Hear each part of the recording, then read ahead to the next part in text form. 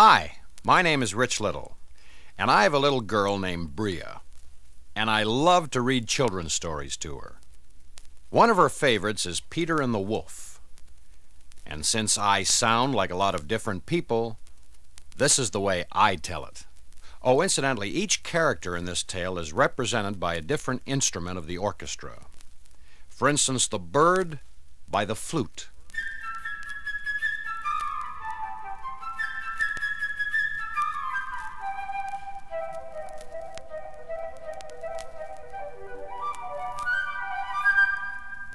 Bird is played by Paul Lynde. oh, chirp, chirp, chirp. The duck by the oboe.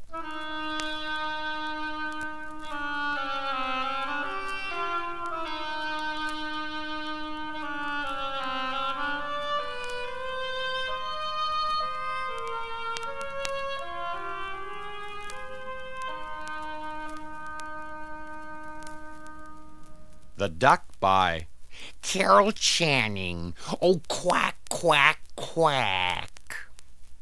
The Cat by the Clarinet.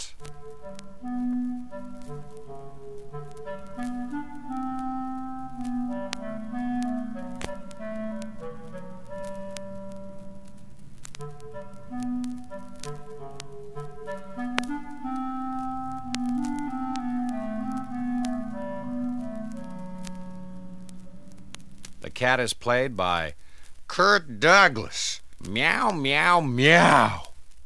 The grandfather by the bassoon.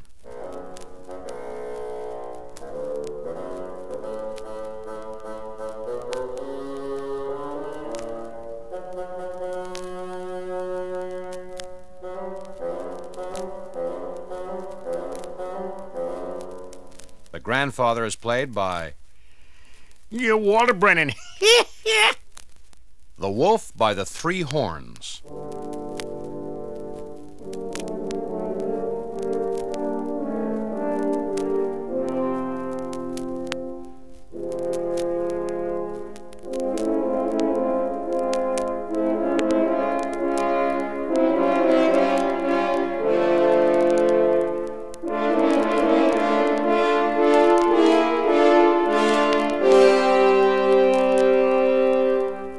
Wolf is played by No, Jackie Gleason. Peter by the strings.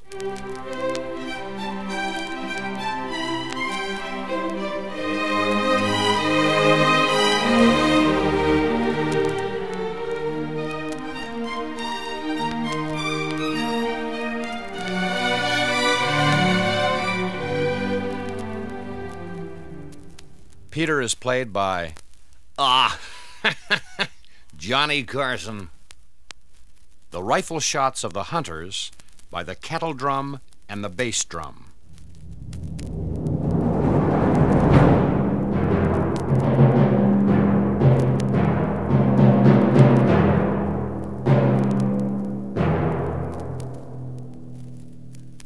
So here we go with the story of Peter and the Wolf.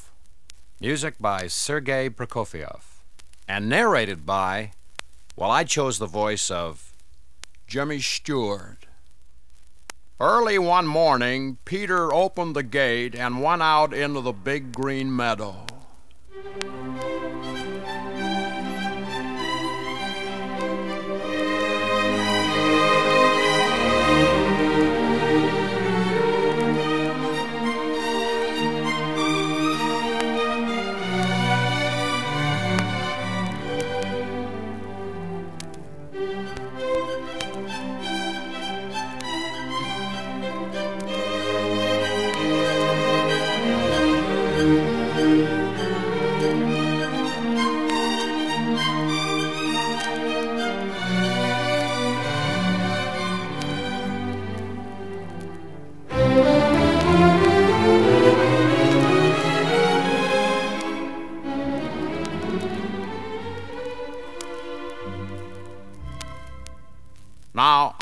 Branch of a big tree sat a little bird, Peter's friend. All is quiet. The bird chirped gaily.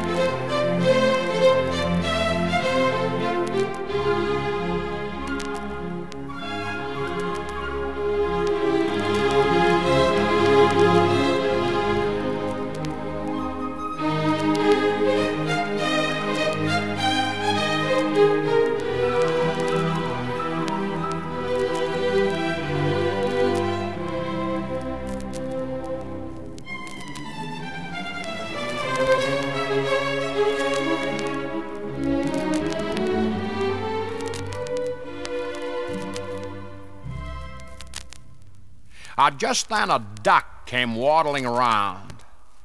He was glad that Peter had not closed the gate and decided to take a nice swim in the deep pond in the meadow.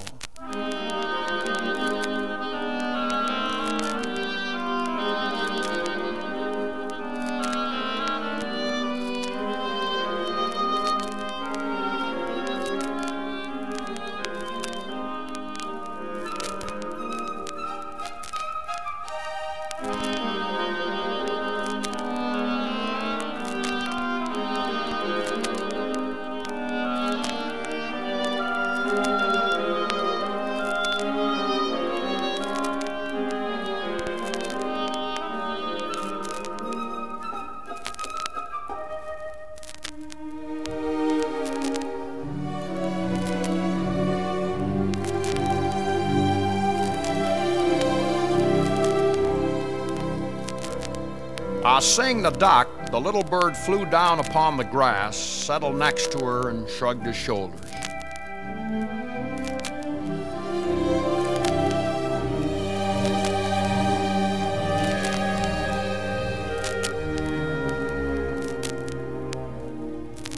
Ah, what kind of a bird are you if you can't fly? Well, what kind of a bird are you if you can't swim? And the duck dived into the pond.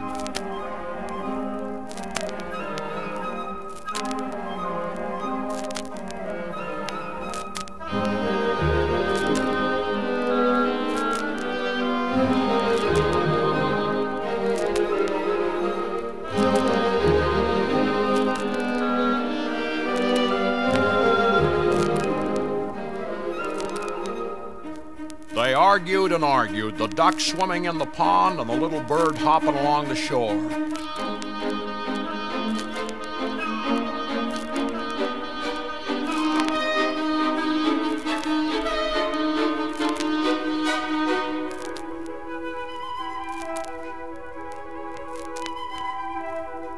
Uh, suddenly, something caught Peter's attention. He noticed a cat crawling through the grass.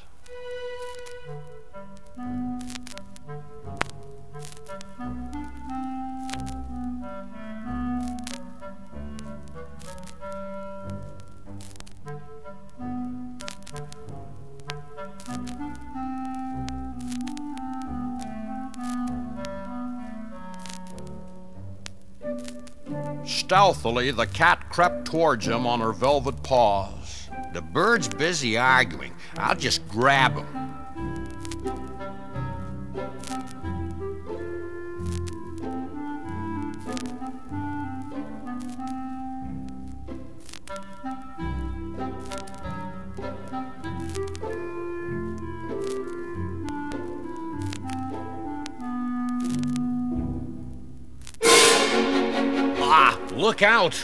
And the bird flew up into the trees.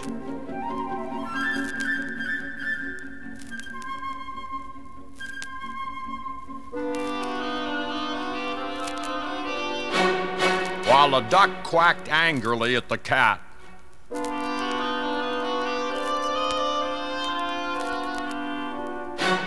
From the middle of the pond. Oh, quack, quack, quack.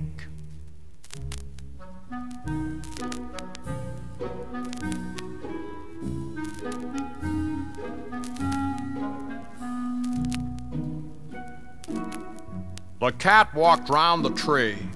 Is it worth climbing? By the time I get there, the bird will have flown away.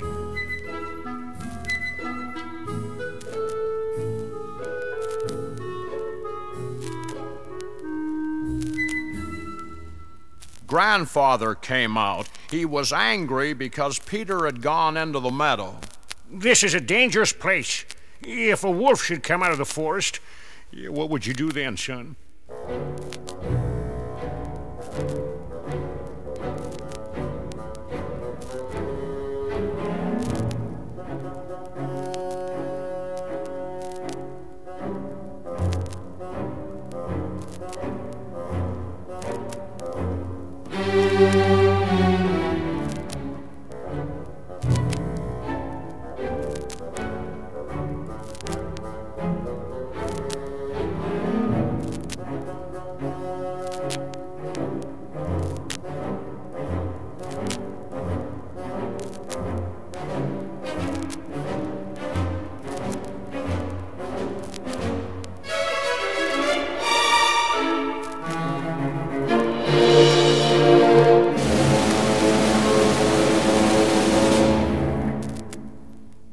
Peter paid no attention to his grandfather's words that boys like him are not afraid of wolves.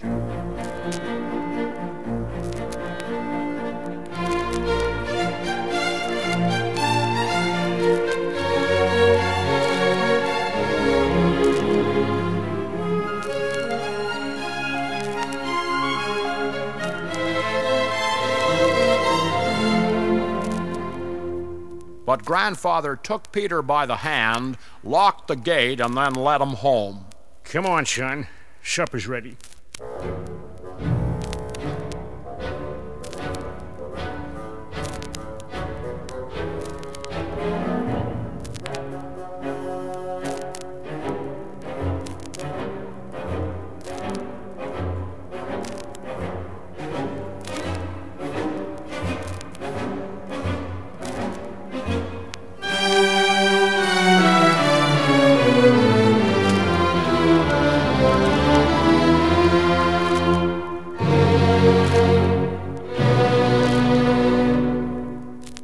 No sooner had Peter gone than a big gray wolf came out of the forest.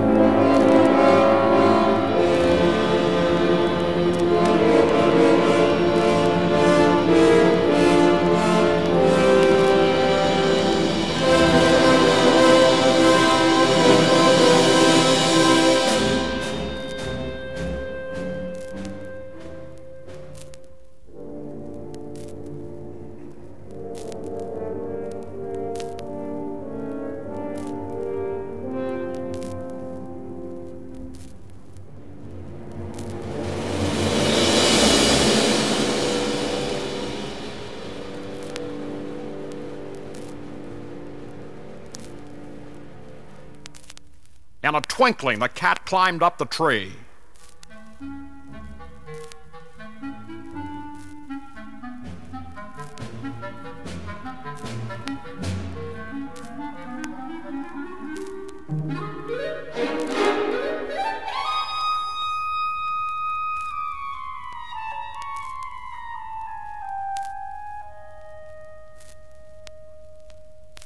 The duck quacked, and in her excitement jumped out of the pond.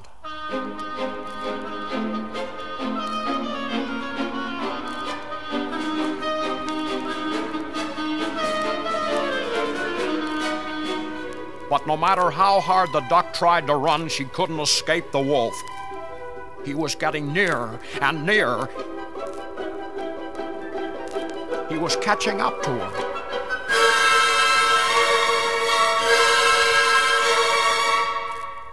And then he got her, and with one gulp, he swallowed her.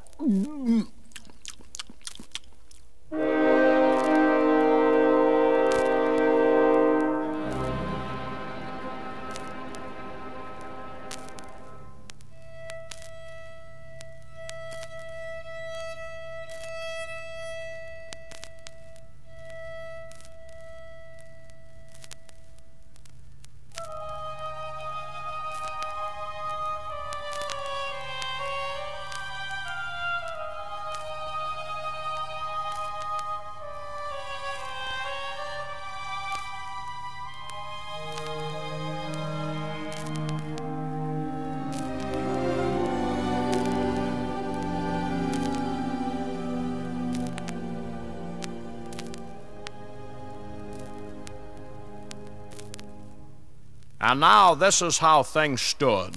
The cat was sitting on one branch.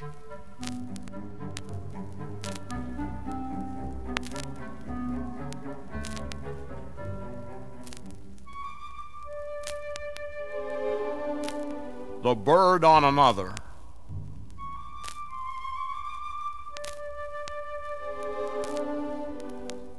Not too close to the cat.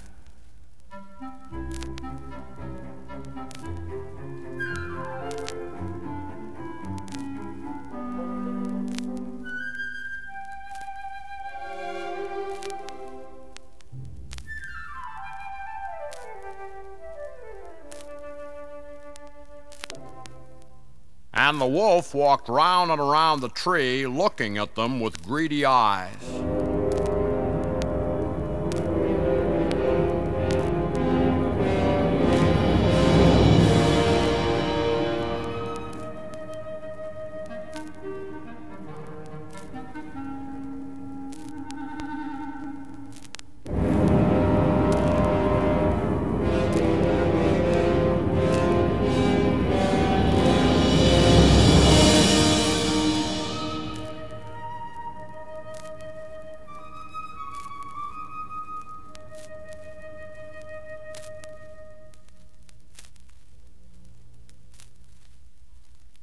In the meantime, Peter, without the slightest fear, stood behind the closed gate watching all that was going on.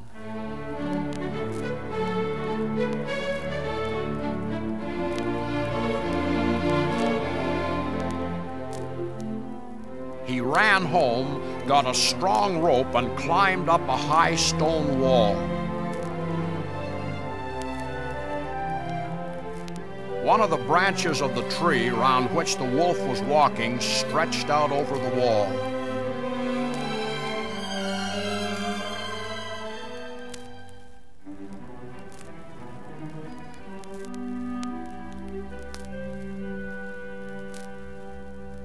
Grabbing hold of the branch,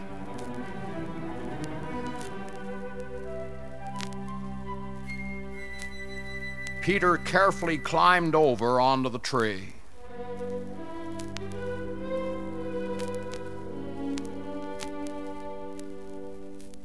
And then he said to the bird, Ah, fly down and circle around the wolf's head.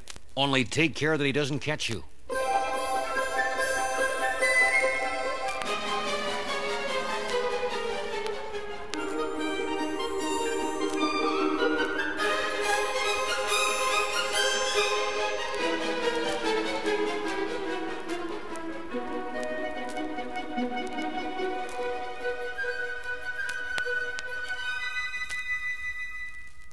Bird almost touched the wolf's head with his wings, while the wolf snapped angrily at him from side to side. Come on with it! Would you stop that?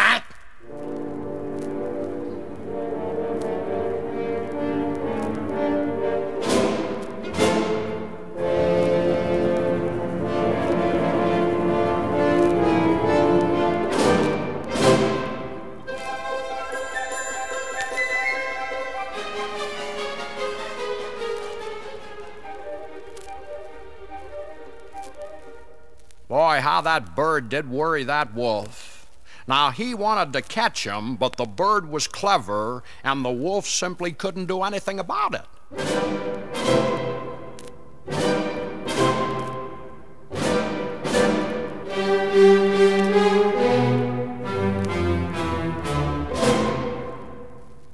Meanwhile, Peter made a lasso and carefully letting it down,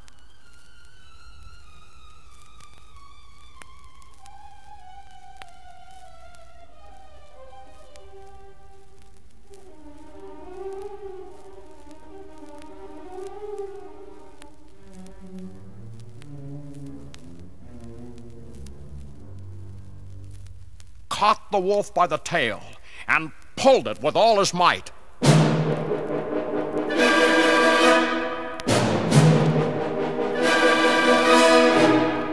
And feeling himself caught, the wolf began to jump wildly, trying to get loose.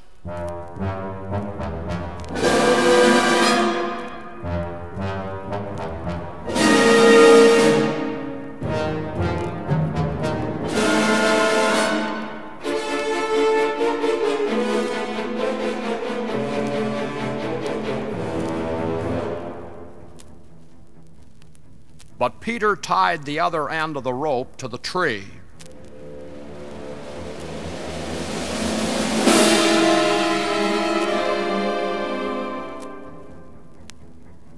And the wolf's jumping only made the rope round his tail tighter.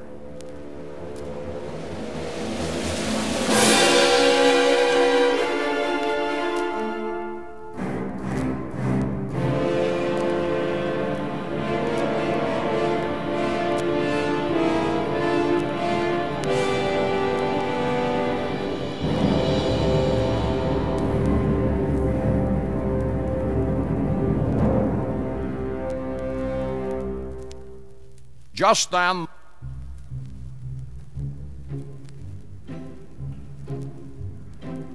the hunters came out of the woods.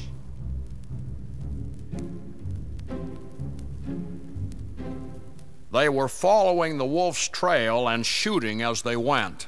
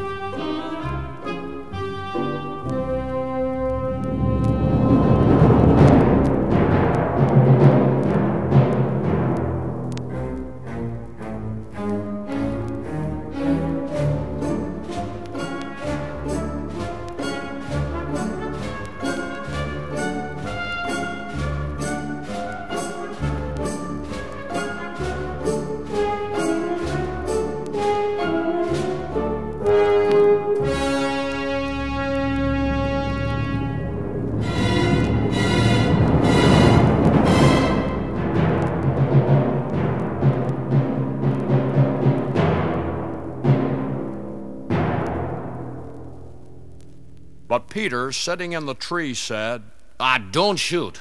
Birdie and I have caught the wolf. Now help us take him to the zoo.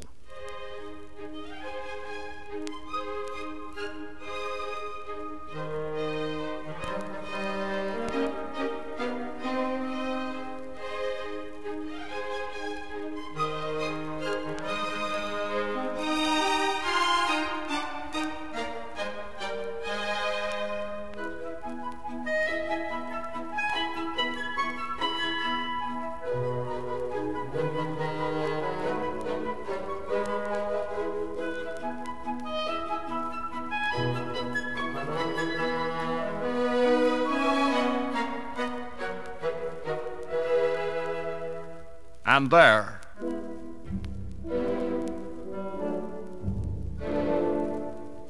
imagine the triumphant procession.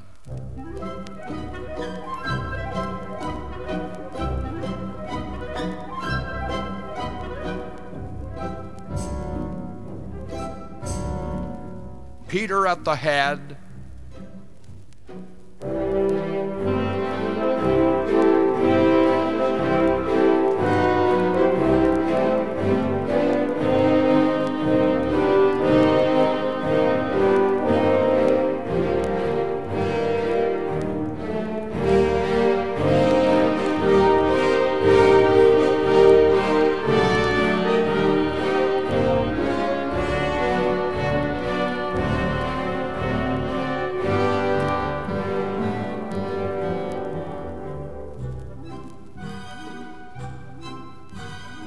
after him the hunters leading the wolf.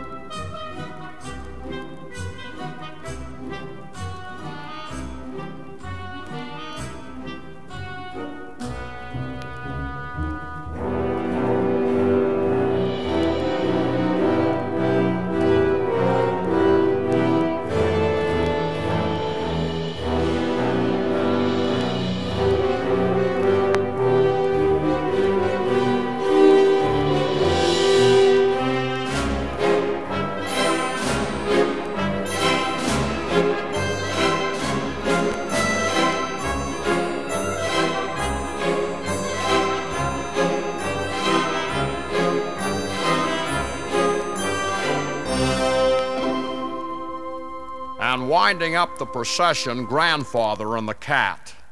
Concerned, grandfather shook his head and said, Well, if Peter hadn't caught the wolf, what then?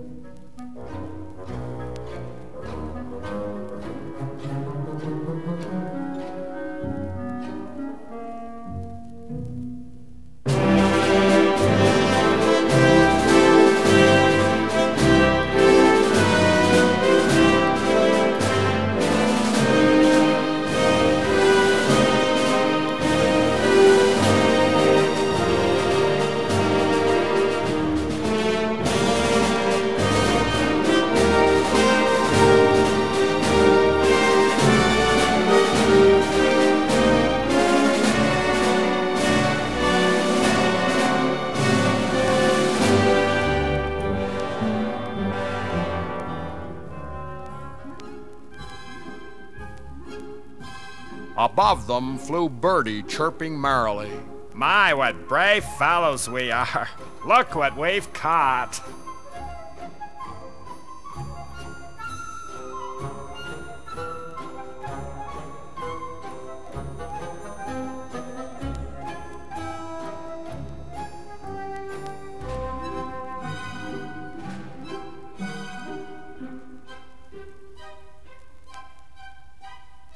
And if you'd listen very carefully, you could hear the duck quacking inside the wolf, because the wolf, in his hurry, had swallowed her alive.